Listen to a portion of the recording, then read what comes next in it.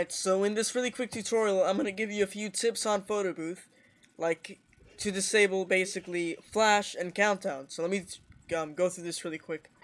First of all, I'm gonna show you how to take this um, picture without using flash, and that's pretty easy. All you have to do is hold down shift and take the picture. So let's go ahead and do that. Yeah, I know, came out all weird. The point is, the screen didn't flash when you take the picture. The second option we can use is to take the picture without countdown, and countdown is what you just saw when it goes 3, 2, 1, yeah, obviously.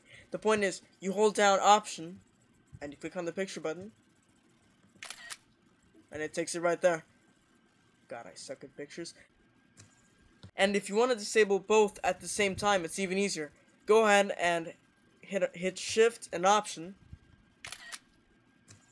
and there's no flash, no countdown, you know, it depends on where you're gonna take the picture, but yeah, I mean, it's pretty useful sometimes. So yeah, that's how you disable flash and countdown on Photo Booth. Hope this helps.